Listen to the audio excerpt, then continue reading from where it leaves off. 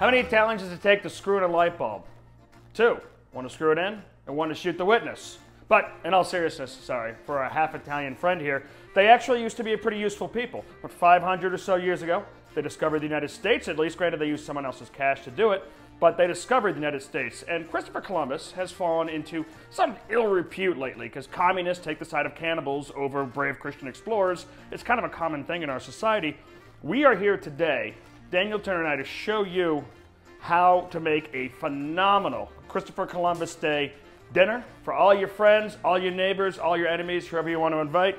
And to celebrate this in a way that's, you know, not just eating maize and ground up meal and everything else. What, what did the Indians eat before the Italians showed them tomatoes? Uh, uh, buffalo. Buffalo. I think we actually discovered uh, tomatoes in the New World too. I'm Chris Bedford at the Federalist here for another edition of How to Cook in My Kitchen. And if there's one person out there who's a better chef than me, I haven't met him, but Daniel Turner here is very good at cutting onions and smashing garlic and comic relief. And he's half Italian. And a, and, a- and a much better cook. A much better cook. But I'm glad we're doing this. We did this once before. Remember when they when they were banning meat from certain cookbooks? We did a meat episode. It's fun to be back to talk about this because, yeah, eh, we live in a time now that like 25 year olds can't have a, a Ben Shapiro presentation without breaking down in tears and being triggered. Yeah, and you turn on the Food Network and you hear about how the food of Cote d'Ivoire is the fundamental building block of Western Civ. And it's like ridiculous. And Come on. 500 years ago, we had guys who were so brave that they were like, hey, look, don't go past this line in the ocean because there's a cliff and you'll go off the edge straight into hell and die. And Columbus was like, let's see. Yeah. Right? I mean, bravery beyond bravery. And I think we stand on his shoulders Uh, of, of, of, of bravery and exploration. And, and now we mock him. We tear down his statues. Heck, we tear down his statues everywhere. Not in New York, though. The Italian Americans are fighting hard for Columbus Circle. And I think they have like a permanent guard. But in most other places. It's too high to pull that thing down. It's a big statue. It's like Saddam Hussein height. It's a great, great statue. We- Yeah. I would let them tear down more statues if they still made pretty ones, but they don't. They don't. Because there's no more Italian artisans. All right, let's get started. What are we cooking today, Turner? You know, I think we're going to do a classic Italian American uh, um, Sunday red sauce with meat. You know, we didn't grow call it gravy growing up. I know a lot of people did. Um, my mom is Italian, so I learned to cook from my mom. And this was like the standard Sunday. You started it early. It cooked for a couple of hours. Um, it always had. Uh, I'm using San Marzano, which are the good tomatoes to use. Um, and I like, you know, I fresh tomatoes are always great. I like canned tomatoes because you always know what you're getting, and they're imported from Italy and they're fantastic. Uh, a little bit of onion, a little bit of garlic, a lot of meat, and we'll let this thing simmer for a couple hours. So the first step is step one: cut the onions. Yes. Now, cut and peel your onions. I have that pot going. It's warm, right? Because we want it to be a little bit. Uh, we want it to be hot, so the flame is on low. Oil. Yeah, and and a good healthy dose of oil. But Right. you know, you- you want a healthy dose because you're going to put in a lot of onions, you're going to put in garlic. You do not want it to burn. But remember, all of this oil ends up in the sauce. You don't want an oily sauce. You don't want people to ever think that. So, you know, it's be judicious. Judicious. What do the uh, what do the recipes say? A, a bunch, but not too much. Yeah, exactly. That's the exact measurement. You know? I, I think you definitely want to have like a like a film on the bottom, but not like swimming. And remember, you can always add. If, you, if your onions and your vegetables suck up too much of the oil, add some more. That's fine. Now, what we're gonna do, which is again the way my mom did it. Let's open this garlic clove a little bit. And this is the way. Eh, how many? We got four cans of tomatoes. I'm gonna use. Here's a bulb. You think the whole head? I was gonna do like five cloves of garlic. It's the food of kings. Destroyer of vampires. Peel these out. Here's my mom's little secret, which we did as growing up, and this is the way I make my sauce, but not everyone does. Want to help me peel some bulbs, or are you just gonna stand there useless? Is that what you want me to do? Yeah, peel the paper off. An Englishman, a half Italian, and an Irish guy walk into our kitchen. So what we did, what Mama did, she did not like chunky vegetables in her sauce. Mama put the garlic, the onion Oh, that's smart. in the blender with a splash of water, and she pureed it. So, splash of water. The only chunks Mama wanted was meat and maybe a little bits of tomato. Not everyone does this. A lot of people like to saute. I don't mind the onion myself. Um, no, but I'm, I'm going for nostalgia here, right? Yeah. I mean, that's all Italy's got. How the hell do you use this blender? Oh, You gotta be smarter than the plug. You could also do this with Parmesan, with uh, with Pecorino Romano. If you're doing something that's really cheese heavy, like a cacio e pepe or a carbonara, you want to use a blender.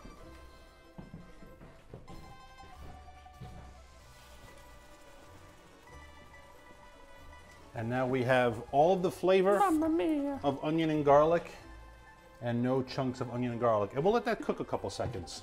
Now We- you're gonna want to to- wear an apron with this because it's olive oil, and you drop some water in there. It's gonna pop. It's gonna get all over your nice shirt. How are you gonna meet the girls that way, huh? Covered in grease. We want this to brown a little bit. Speaking of apron, you got to put yours on. Again, another little thing that I learned from mom, which I like. Whole tomatoes, because then you can squeeze them to the texture you want. When you get um, diced tomatoes, petite dice, etc., they have to put something in the can to keep it that shape because it naturally it wants to break down. And all those things that are added into the can are just not tomatoes. So get your whole tomatoes because it's just tomato. And if you want it smaller, Yeah, grown in petite the- grown dice, then, then cut, chop it up yourself. Grown in the finest mafia graveyards. Yeah. Gets a little bit of color. You want to start? We start squeezing? I've never done this before. You want to do it? Yeah. Yeah. wa- wash your hands and just get in there and go to town. Wow. This is uh, woohoo! This is frisky. This reminds me of uh, hunting seals. Crashing heads. Okay. uh, So another little thing learned from Mama. I'm not going to use this whole can. I'll probably just use about half. Tomato paste needs to cook. Tomato paste needs needs to uh, to brown a little bit. It needs a little bit of of, uh, of heat. So you see these recipes where, again, normally by Irish people, no offense to them, where they just like dump in a can of tomato paste in the liquid. It's always going to taste a little bit bitter, and it's always going to have that like like acidic flavor. Tomato paste wants a little bit of time on pure heat to to to uh, develop its sugars, heat its sugars, and get rid of some of the bitterness. Never just dump tomato paste in something. It's going to taste like fake. And- I'm and- learning so many Italian secrets right now. I tell you what, I was I walked into my friend Alex Pleats' house, so it's a madhouse. He's half Greek, half Sicilian, married a Puerto Rican. I mean, there's a lot of yelling in this house. and somehow I get in charge of cooking food for all the ancient Italians. I'm in charge of dinner now, and I'm cooking it. and so I, you- I you missed made- a step you made chowder. drinking. No, they wanted chicken parmesan. Yeah, I walk up to the old woman afterwards. and This is a good meal. It's a good meal. I say, "Are you enjoying the chicken parmesan?" She shakes her head and goes, "No." Oh, stares right at me. I, was, I, I thought, um, I said, what do, you, what do you want? Why don't you get in the kitchen, old, old lady? But I didn't say that because you ever seen an Italian woman with a wooden spoon? They'll knock you unconscious. No. One of the things I do miss about living in DC is small little specialty stores. There are some great butchers out where I live, but I have to drive a little bit. But I love going to Eastern Market. I love going to like an actual butcher butcher who's not just a huge uh, a chain store. What's the name? Um, what's And the name so- of our of our pasta guy? I buy pasta from every single week. He's got great pasta. I never look it up. But what's You know, I, I, exactly. Now you sound like you grew up in a small town. You're like the cheese guy, the pasta guy. The, Yeah, I got- know, I got a just- cheese guy, Mike. I, I got a guy. Mike and Mark? All right. Another little secret here, which again, uh, the funny thing about Italians, like this meal, everyone who has Italian blood has a version of it. I think Italians, either Italians or Germans, are They are most- ferocious about it because they're irrational, emotional people. Yeah. They get really heated. Either Italians or Germans have the most uh, uh, descendants in America. I'm pretty sure it's Italians. So if, if there are 30 million Italians in, in America, they've all got a version. And there's right now there's someone watching this who's like, No way That's ridiculous. Than, than Irish. There's no way. Everyone and their mother and their grandmother like that. maybe it is it's, maybe it is Irish first. But anyway, my point is right now there's some guy who's like, that's no way, that's ridiculous, that's not how you do it. You know, again, watching mom do it, the meat doesn't brown. If we were making a beef stew or like beef bourguignon or short ribs, you want to brown and sear the meat because you're making a meat sauce. We're not making a meat sauce. We're making a, a tomato sauce that has meat in it. So you want the, you want to get some heat on it, but we're not going to sear this like you would making a, a- like a, like a gravy or something. That's a big difference. I know. I, I, right see- now, I'm thinking I've been doing everything wrong. No. I feel like I've been doing everything wrong. I've had you know your what? red sauce We're and gonna it's see. fantastic. We're gonna see. I've had your red sauce and it's very, very good. But my point is, we're not making a, a, a beef stew that the beef is the predominant flavor. The predominant flavor is, is tomato. So we want the tomato to come through. So we don't necessarily want to get this, because when you know when you braise it, that whole Maillard reaction, you get the sear, you caramelize all the sugars in the meat, and that, you need, that develops all the beef flavor. We're not looking to develop a ton of beef and, and pork flavor. We want it to be a tomato sauce. That's got some meat in it. So, the Italians didn't just bring awesomeness to the Americas. They also brought awesomeness back with them. Can you believe that the Italians, until Christopher Columbus, had not been cooking with tomatoes? Like, know. ever?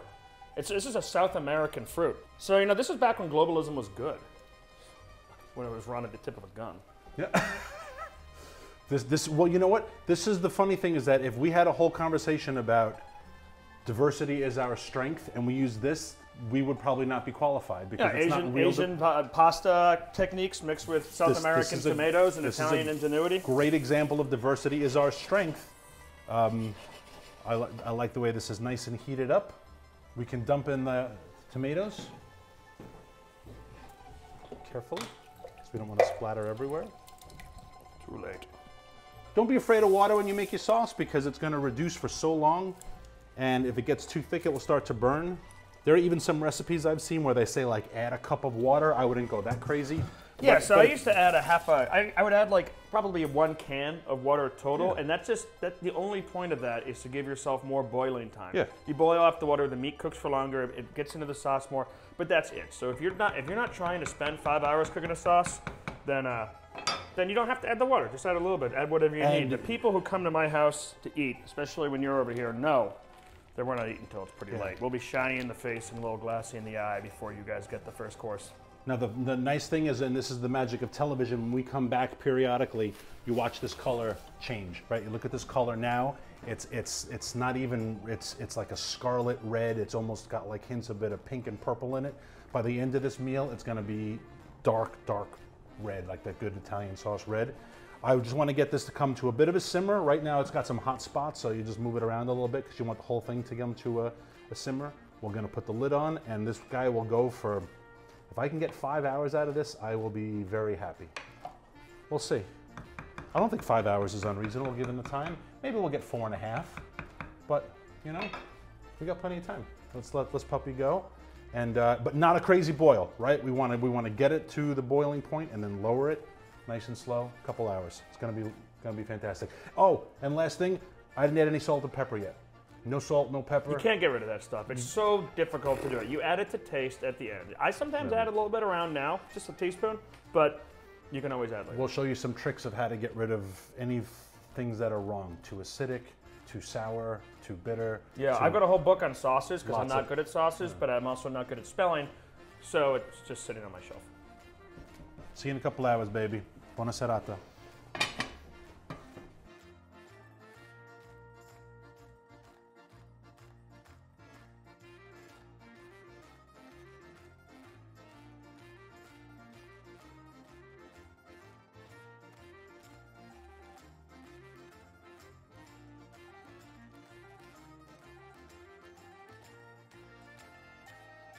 All right, so broccolini.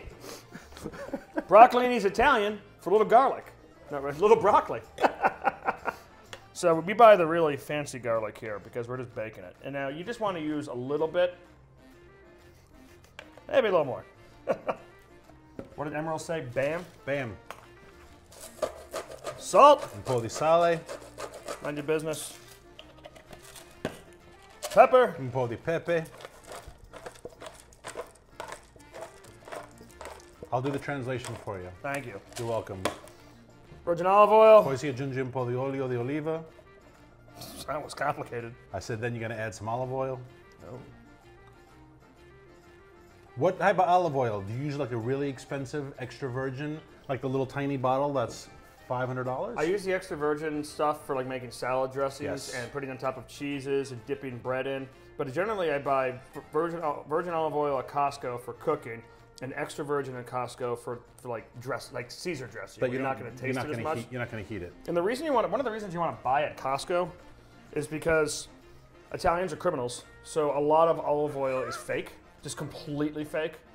Um, so Can we pause with? Can we back up that line a little of Italians are criminals. Actually, A lot um, of tomato um, sauce, canned tomatoes you buy are fake. A lot of Italian things are lies and fakes. But companies like the size of Costco Yes. have their own task forces. And like Walmart, weirdly enough, where they will send agents and other people to check, like, where's this wine coming from? Where is this olive oil coming from? Where is this tomato, cans of tomato coming from? You go to the grocery store, they don't have that. Even if you go to the little mom and pop shop, some of them will actually go over there to Italy, as you know, and, and they'll source their own olive oil, and that's great. But a lot of them are just buying cool looking bottles, and it's coming out of the same factory uh, all over the country. and it's probably from like Greece. It's not even Italian. yeah, it's like Chinese slave labor in a Greek factory making Italian uh, extra virgin olive oil. Okay. When we, So- do the, when we do the cheese board, we can talk about how you can tell real Parmesan. That's an Oh, important yeah. thing. But we'll get to cheese in a second. So with the I'll get out of your broccoli. I'm just getting this out of the way because I'm going to roast the broccolini. Put uh, put a little tin foil down in every single one of your trays. It's just you're going to have so many freaking di- dishes at the end of this. If people start hearing that you're cooking a big Italian meal, they start to flock. We just added a family of four to our dinner table. yeah. I told them no seats, but hey, if you can put your infant at a bar right here, we're fine.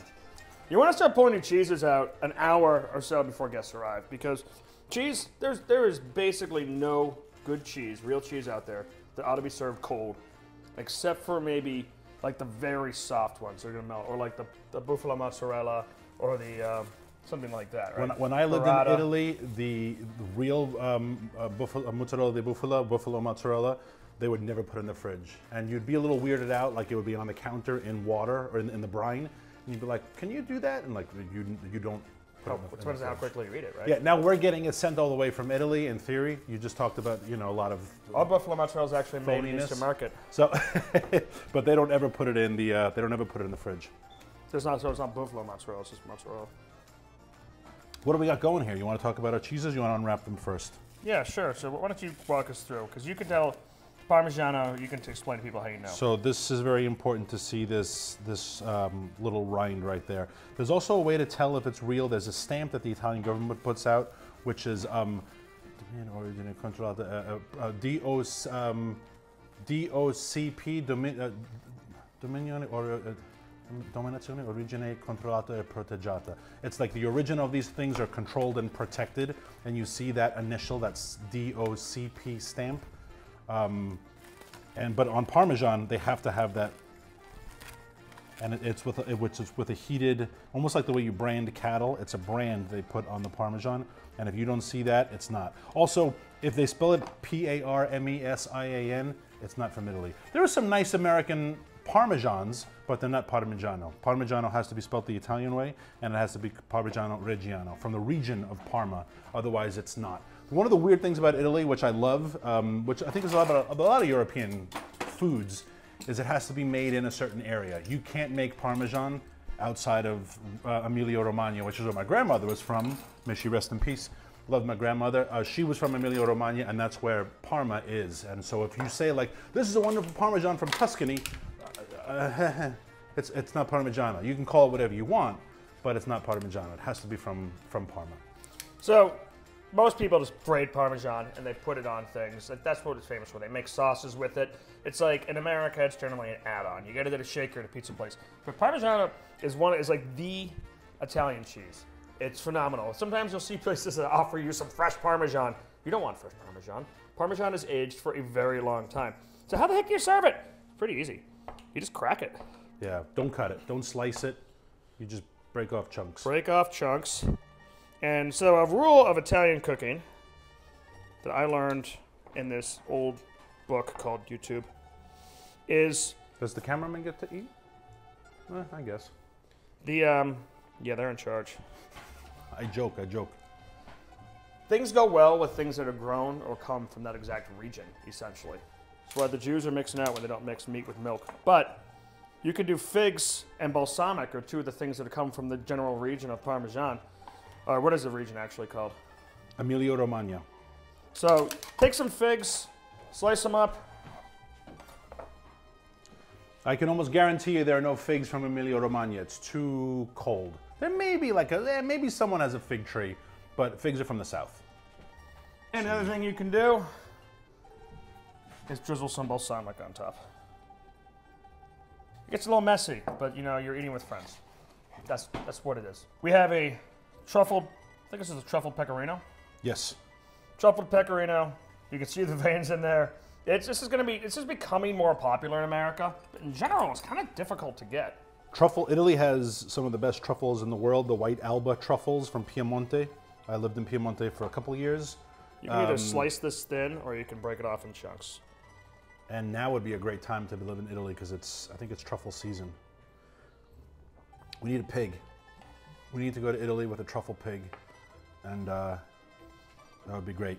Another great cheese from the same Emilia Romagna. There is a little town called Gorgonzola, and the cheese they make in Gorgonzola is Gorgonzola. Um, this uh, that's why, if like I said, if I ever did a, you know how guys do guys trips and they go to Vegas and they party and go to strip clubs, and I would do the most different guys trip. We would go to Emilia Romagna and we would just eat.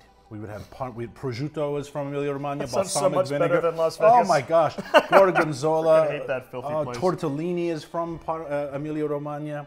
Um, um, mortadella, uh, culatello, which little, literally means little tiny. Can I say asses? Little asses is the, the highest level of, of prosciutto. Culatello. Um, it's just the greatest food region. It's the food capital of Italy, probably the food capital of the world. And I would love to do a guy's trip there, and we would gain 40 pounds, but be very happy in the I think it'd be worth it. Oh, and we got totally. some fresh bread from the local baker. It's not a bad looking cheese board. no, and so explain the La Tur because you picked this out. Yeah, I never From saw this guy, before. we went to Mike Bauer. He's got Ba- Bauer's fancy cheese. Castelficcio. I don't know where Castelficcio is. I have to find this, but I, he saw this and he It's in said this is. House de Ficio. There you go. Ficio House. He said it's he said it's a soft goat milk's cheese that I am curious to try it. It looks beautiful and it's very soft. Ooh, it's pungent as hell, which smells great.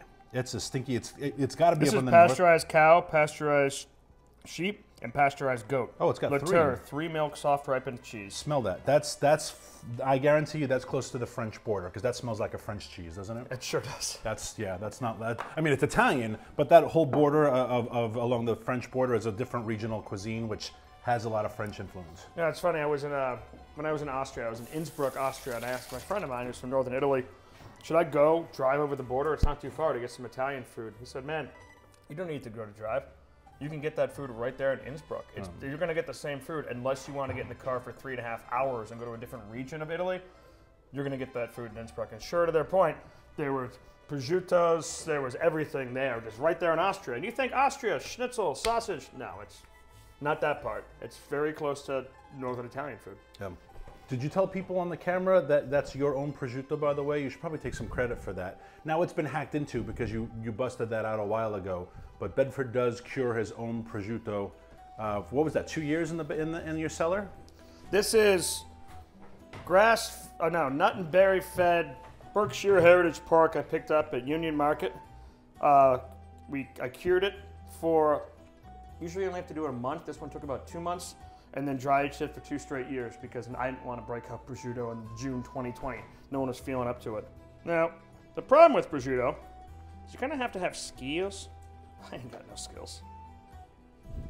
It's hard to oh. actually cut it well. Holy cow! But really you get good. a knife that can bend, spe- specifically for prosciutto. What's the camera guy think? That's a good. That's a good cut right there. Yeah. You know the meat's now cooking at a different stage because all of the fat in the meat is coming to the surface. I would not skim that out for any amount of money. You mix it right back in, but that's all rising to the top. Really? And yes. I've already scooped it out. I mean, if there's a ton of it, if you got a really, really fatty piece of pork, maybe, but I don't think this is very much. So, I mean, maybe if I wanted to be super, you know, careful, I could scoop out some of this along here. But, eh, yeah, I'll get rid of that. Throw it in the fish. Wow. You just bargained yourself down so freaking Well, quickly. now I'm worried You would have to shoot me. You would have to kill me to do that. Ah, I'll do that. Now I'm worried that everyone's going to be like, "Eh, what about diabetes and cholesterol? No, So- no, no. This is a man meal. We are This is- celebrating Christopher Columbus. Yes. We'll smoke cigarettes. Christopher Columbus is responsible for all the atrocities of the world. Bullshit. One of the bravest people in the history of mankind. Didn't you read the book by Howard Zinn? yeah, I was stupid. I read it in high school too, but then I grew a brain, a heart, and a dick, and realized that Christopher Columbus was more impressive than anyone, nearly, really, a lot of the people we have alive today. Not anyone. and you know that all of the idea that Christopher Columbus is an is a rapist doesn't vibe with any single bit of evidence we hmm. have from any single person except for one, the guy who wanted his job. He wrote letters back to the king and queen and said, "This guy's just raping and killing. He's a mass murderer." As if like the Spanish and the Portuguese are really going to care that much. But no one believed him because it didn't vibe with his character. The thing about Columbus, which frustrates me, is right before we started filming, there was an article I was reading about Jerry Seinfeld. And all 180 of his episodes are going to be on Netflix. And someone asked him if he thinks he should rewrite them or edit them. And he said, look, if I was making some What of kind them of a now. squid asked him that? Exactly. Well, yeah, because there's nothing else to talk about. But he said, you know, if I was making them now, I may write them differently. But he said, I don't like to look back and change things that are already done. I like to look forward. And if we're able to judge Seinfeld episodes from 20 years ago and say, oh my gosh, that offends me now, how much easier is it to go back 500 years to Columbus? And it just strikes me as the most cowardly and, and privilege. You want to talk about privilege? To look back at someone from 500 years ago who did things you wouldn't dream of doing. Like I said, you can't listen to an Ann Coulter lecture without, without having a therapy dog. And you're going to judge these guys who jumped on boats that sailed to the end of the world. These were with- not big boats. No. you look at the uh, Nina, the Pinta, and the Santa Maria, and they're about as long as my house. Like, Exactly. they're they're not big With all boats. their in, the, in that Atlantic Ocean. with all their provisions, all their water, all their food, and all their saying, all right, let's just see what happens. And, and, and it's just so easy to look and judge other people by your standards today. Just also your privileged, comfortable, white, Yeah. first world, cushy Postmates standards. I mean, we th- it's pretty insane. Those people who go and explore the Arctic poles. It's insane. People climb Mount Everest. Completely nuts. But no one actually does that with like the just complete total belief that there are monsters there. Um, These guys did it. And it's like, yeah, there's sea monsters. Yeah. Massive ship destroying sea monsters. sea monsters. Looks like he's already been eaten. Um, there's a cliff. There's a cliff in the middle of the Atlantic, and you'll just fall off the cliff The funny thing is, right there were mathematicians uh, in the Middle East before the uh, Arab mathematician who figured out the size and circumference of the planet. This is back before like Islam made the acquiring of knowledge and science, you know, haram, and just started killing all those people. He figured it out. Christopher Columbus's navigation was wrong. He didn't. He thought the world was a lot smaller. He didn't think there was room for another continent. So he sailed there anyways, found it. Basically, every bit of evidence kind of lead him toward this is not what Marco Polo was talking about. But it fits some of it, like they're not Irish, so it, it might be what Marco Polo was talking Yeah. about. He just went with it. There was no point in his life when he said, maybe my calculations were wrong. This is the kind of guy who sails off the end of the planet. He was just like, yeah, this must be it. So confirmation bias, is, we all are, can be guilty of confirmation bias. And he arrived and he was like, "Welcome to the Indies. You are Indians because I am in the Indies." And they were like, "No, we're not." And he was like, "Nope, my calculations must be accurate." I mean, we can all be guilty of confirmation bias. Yeah. Um, and, and he was. But I think if you just got in that boat for three months and sailed around the world, uh, I'm not know what? taking no for an I'm- answer. I'm not taking no for an answer. I And they wouldn't have, the European monarchs wouldn't have funded his trip had he been going to an uninhabited land. So he had, the pressure was on to find some gold. You making me a cocktail? Oh, yeah, I'm gonna make a cocktail. what are you making? So we're doing a very complicated drink here called Campari and soda. You do one and a half ounces of Campari. Spread it all over your counter. It gets really sticky. Leave it till morning. That makes it hard. Do you spread it on your notes as well? All over the notes. Okay, That's how you that's know that good. these are legit. These, That's these are legit. Yeah. And here's the trick, the special ingredient, soda. now, Italian construction workers buy this in little cans and drink it with their lunch. That's why they get almost nothing done in that entire country. What? You got so many mean Italian jokes. You guys peaked 500 years ago. Actually, probably a lot longer before that. Enjoy your aqueduct. Thank you. Salute. Salute. Now, what's the next step, Turner? We're boiling water here. Warming up the water. We got a lot of pasta. We got three pounds. We're doing fresh pasta, so it only takes literally about four minutes. Um, but we want to get the water going. The And you thing- salt the water. Oh my gosh, l'acqua della pasta bisogna sale del mare. A little old Italian nun taught me that um, in, in Faenza, up in, again, Pia and, and Emilia Romagna. The, the water, the pasta water should taste like the sea.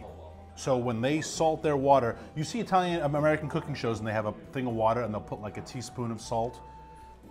Salt.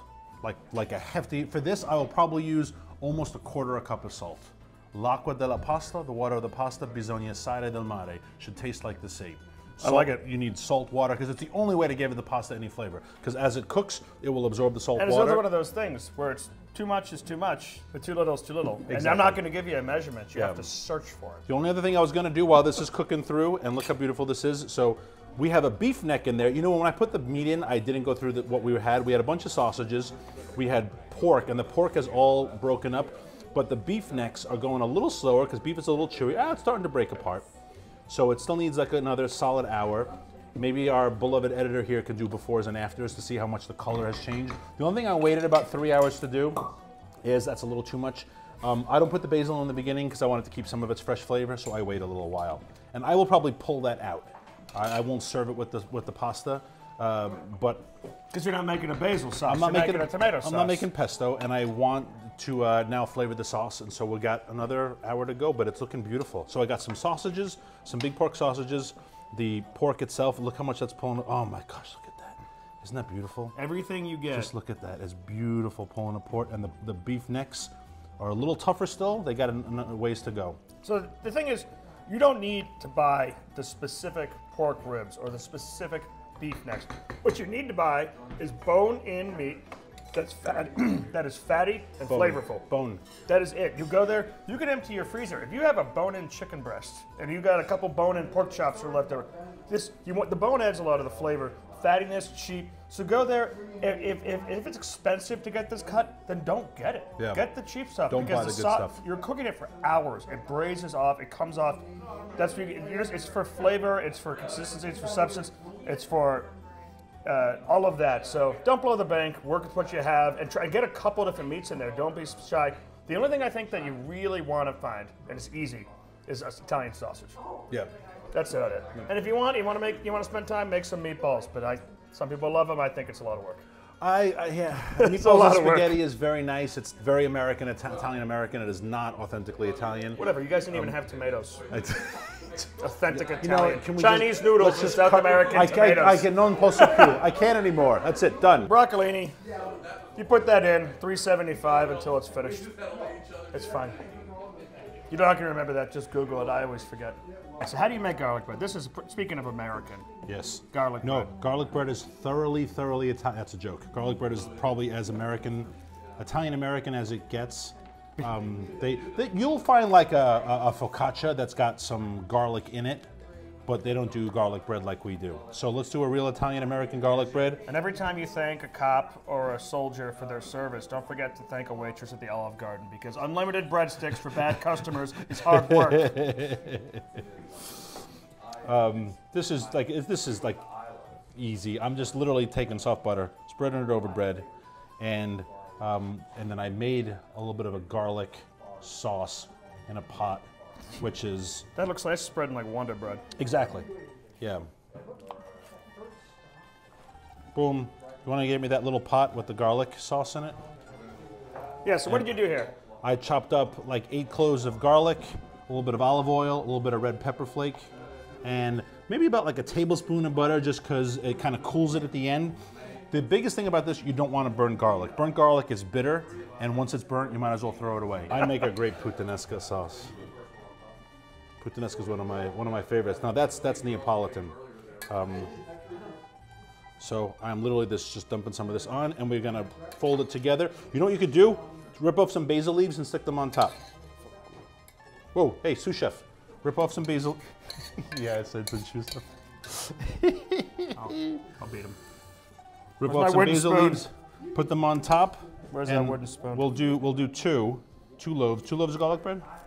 Oh my Yeah. gosh, even I heard my accent there saying garlic bread. Ours are hard if you're from New York, so garlic bread.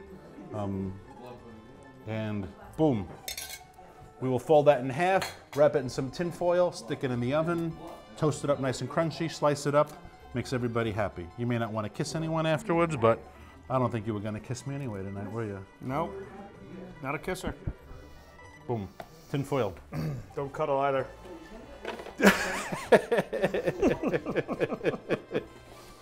You know why? It's gross. Because you're Irish. That's why. There's nothing wrong with that. I'm That- half Irish. Culturally and biologically programmed to socially And come back to me in, in eight months when we do the St. Patrick's Day special, and I will be thoroughly Irish as I am also Irish. But right now we're Italian. Affection is sin. on the counter behind you. Is it? No, it's the Brunello. Oh, wonderful. So we're breaking our rules right here. Where's this gin from, James? No, really. From the Canary Islands. I will absolutely get time to eat. I still have to finish my Negroni. Oh well then. I'll, Yeah, I know, everybody's having it. So would you like some? But there's one rule that you I'm can't okay. break, Thank you. and that is I didn't know there were so many martini while you rules. I, I, I apologize. you can't get COVID through gin.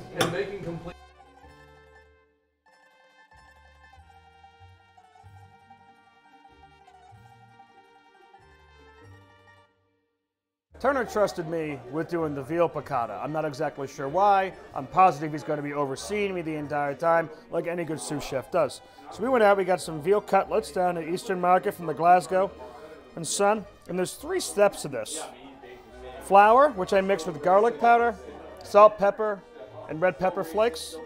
Beat eggs as the second step.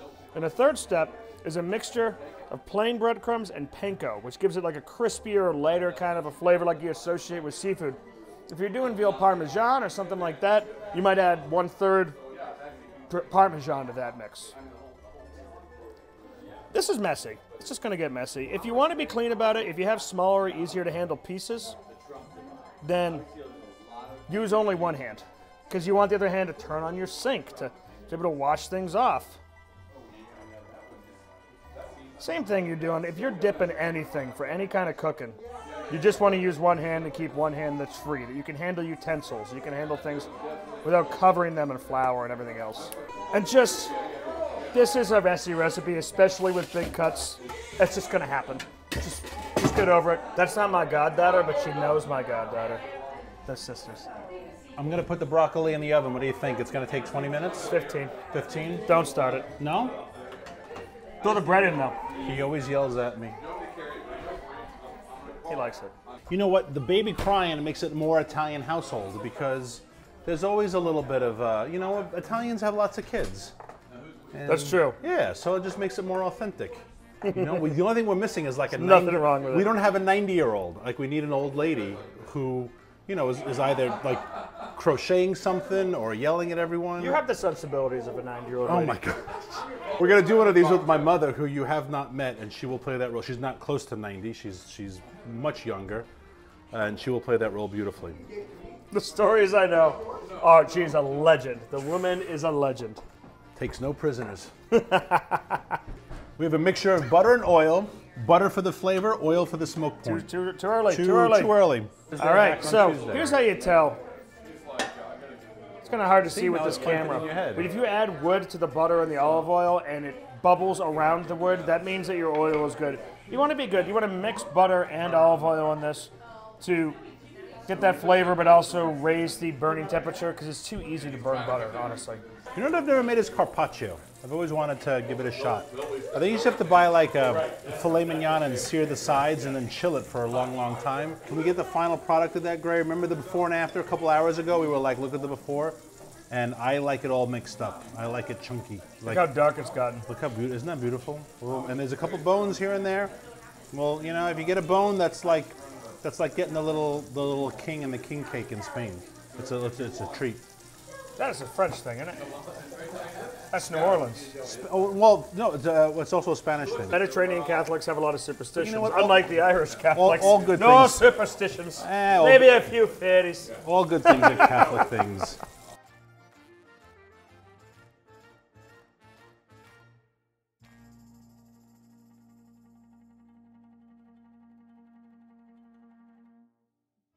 Okay, at this point, we've finished sauteing. Add some butter, add some olive oil, and this is where you don't want to add too much. I probably added a little too much there. I can pour some off later because you're going to mix some wine in there. Exactly. Thank you. You're welcome. Add the shallots. Called being a sous chef. Add some garlic. Yeah, well, you're, you're a helpful one. I'm not very helpful. Add some garlic. As you can see, I do everything in moderation. Fruit of Kings. Gonna saute that for just a little bit, basically. Soften it up. And then you're gonna add your stock. We are cooking for 14 people. So we're gonna go with probably about half of the stock. And actually, if you can make your stock, do it. But if you can't, get the nice stuff. I mean, the cheap stuff. Get stock that's literally good enough to drink. Unable to open a jar. Hands are too buttery. Hands are a little greasy. Or are you just too weak? It's a combination of the two. Um, there you go. I, uh, you know, you just have to. You have to I go can to open my mine. own jars. You have to go to mine, and he'll get it Need a open. towel. We got this fresh rigatoni at Canale in Yeah. Eastern Market. We got a pasta guy. Three pounds of it. It's beautiful. He has wonderful pasta. He has really good stuffed tortell- uh, like um, tortellini and ravioli as well. And you don't need fresh pasta, but if you have a chance to get it, It's definitely nice. use it. It's wonderful. It makes a difference, but I most a lot of people don't have access to it. We do because we live in DC. That comes with crime Yeah. and fresh pasta. I'm sorry, I or New York or Baltimore exactly. or yeah, a lot of places. I showed uh, off camera. Sorry, I added a lot of salt because you want to salt your water really well, and as soon as I dump it in, I'm going to raise this as high as it goes because you want to bring it back to a boil as soon as possible. And this literally, if it's fresh pasta, two minutes. Quite honestly, It's pretty easy. You want it out not dente. even. Now, Lid back over on. here at the pasta, over here at the sauce, I brought that chicken stock down to about half the size it was earlier, concentrated in it. And here's where you add the healthy part. That's the vegetable. What's Italian word for vegetable? Uh, uh, verdura or, it's a or verdura. vegetale, exactly. Always wash your hands when you're cooking because if you're actually cooking, you're using your hands. You just are. This is not fast food. This is real food. You need to wash your hands because you need to use them. Don't get grossed out. the funny thing is, is people don't think their chef is doing this in the restaurant. I got news for you. I spent, I spent 10 years in, in Give food me that. I'll, service. I'll throw it for you. Thanks. 10 years in food service. How do you think salads are made with rubber gloves and tongs? Get real. if I had capers, You have a strainer? which I I, do. did Strainer's ready to an hour go. ago, they would be going in right now. But we have a strange case of the missing capers here, so we're going to do a veal Milanese instead. We're just going to pretend that it was intentional. Everyone's going to play along, and it's fine. By the way, veal is such a delicate meat that Or no, I'm really them don't for need the salt of the capers. Save them for soup. Save them for I like soup. it. There is the missing case of the capers. It's very bizarre. What happened? We need to get the Hardy brothers on this. What happened? The Hardy to Boys. The Hardy Boys. What happened to the damn capers? We had a jar of capers a half hour ago, and then everyone started drinking. I, I, I, I pray to St. Anthony. Please, St. Anthony, look around. Something's lost and can't be found. He's never let me down. You know, if you ever go to the sanctuary of St. Anthony in Padua, you see all of the uh, um, miracles that have been realized in his honor, and it's, it's pretty remarkable. It's Now you may know, you may be noticing that the veal's getting cold. It's fine. It's thin. I pour that sauce over it. It's going to be fine. And what do you think? Should I add some more lemon or just cook it down a little bit more? I think a little bit of wine could help. that's really good. A little more lemon or a little more butter. No, I think it needs to reduce a little bit. That's it. Oh, Cool. that's really good. You don't need to reheat. If you're doing this with chicken, which is going to generally be thicker, then you are absolutely fine, especially if you're cooking for less than 14 people. Take those cutlets and just toss them back in the sauce just to warm them up at the very end. If I was cooking for less than 14, I'd do that. But honestly, it's fine. Let's make the salad. Fresh mozzarella, off also from Canales. There's two brothers own the places down there. They're from the famous Buffalo of, of, of uh, um, Southwest DC. Yeah. Down by the baseball stadium, they're a huge buffalo. I got news. Yeah, they make mo- fresh mozzarella. That ain't that ain't, ain't, ain't. It's not a. It's not witchcraft to make it. It's just time, dedication, and just making it fresh. I mean, you don't want fresh Parmesan. You do want fresh mozzarella. If you can pull it apart like string cheese, then that's fine. Do that in chicken parm. But if you want it fresh, that won't cut it. I like my pasta al dente, as they say, which is with a little bit of chew. And um, Is that what that al dente means? al dente, literally to the tooth. But um, but The yeah. Italian language sounds so fancy. To the it's tooth- so not. to the tooth, but you could also just say with some bite. In the English, the best translation is with a little bit of bite. I'm gonna save a uh, little bit of pasta water in case we need it. I in always case. forget to do that. I always forget to That's do that. because you're not Italian. That's all right. Now, these not- ugly bastards are basically the only tomatoes that I was able to grow in my garden all year because I had a busted down truck out back because I'm very classy. And it blocked the sun. Also, I'm growing, trying to grow tomatoes in a flower bed.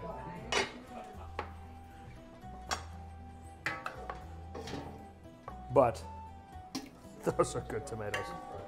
Profumo. I lost one, but that's okay. Did you? Oh. This makes everybody happy. I'm happy. Oh, I really am. Like it's just, you know, it's been. What time did we start this? Five hours A ago. hush falls over the drunken I crowd. know. Like everyone got quiet as they got to this stage. Just like when Casey came to the bat. Oh, it's just, you know, it makes life worth living. There will be joy in Mudville.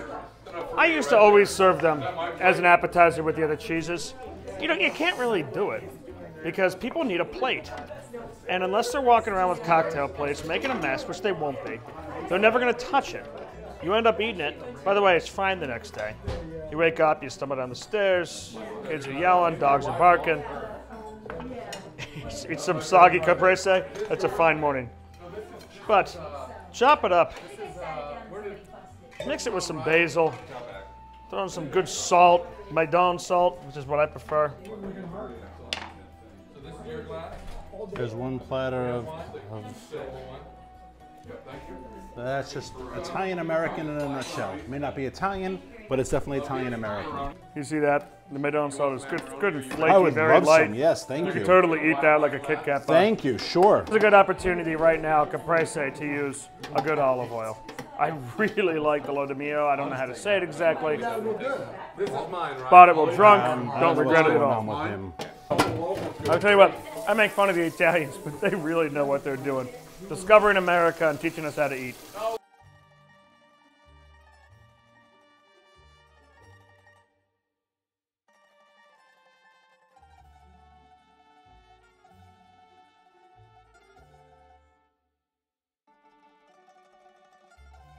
The only way to know when your sauce is finished is to taste the sauce and then ask your buddy. It's just the same thing as grilling. There's one person to grill and one person to tell him what he's doing wrong or right. That's really good. You can only get that flavor when you just reduce it. It's just a scoffier. Nel nome del Padre, del Figlio e dello Spirito Santo, Amen. Benedici, Signore, noi il cibo che stiamo per prendere per Cristo nostro Signore. Amen. And uh, in English translation, bless us, O Lord, and these thy gifts which you're about to receive through Christ our Lord. Amen. In the of the Amen. Son, and Holy Spirit. Amen. Amen.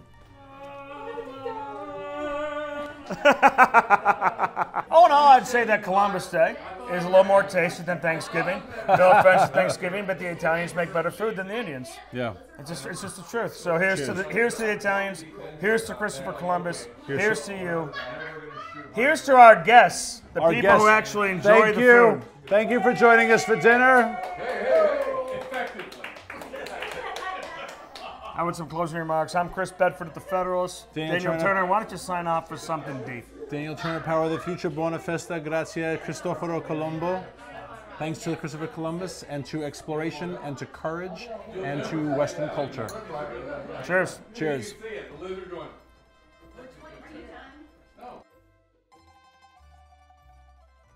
You got to think of Nancy Pelosi's father. Let me say it properly.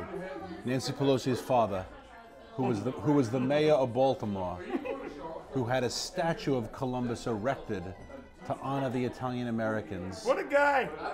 And 60, 70, however many years later, as Speaker of the House, she let that statue be torn down and dragged through the streets and thrown in the friggin' Potomac. And she stood there silent. What a dishonor to the Italian American people. You A messed dis- with my dad's wall when you're growing up. A He puts dishonor- it like traps for you. a dishonor to Italian Americans, a dishonor to Columbus, a dishonor to her heritage, but she's an dishonorable person, so I'm not surprised. Vergognosa. She- yeah, vergo- vergognosa. Yeah, I'm not. I'm not Italian, but I can understand what that means. Mm-hmm. So I,